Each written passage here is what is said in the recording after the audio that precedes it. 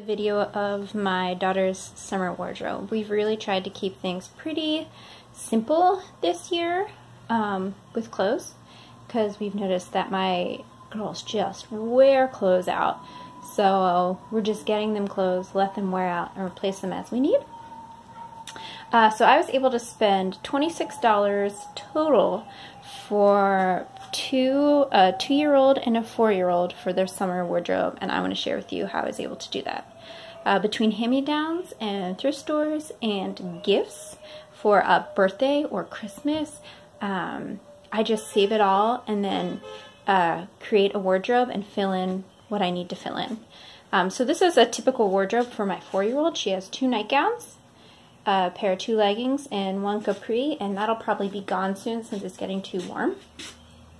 I have one long sleeve top, one hat,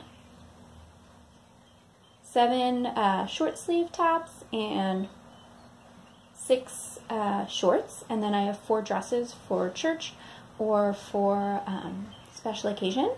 And my daughter used to love wear dresses, so I actually should could have less dresses. Um, but this summer she didn't want to wear dresses, so um, that's fine. And for my two-year-old, I have two nightgowns, two pants that'll phase out soon um, since it's getting hot, five pairs of shorts,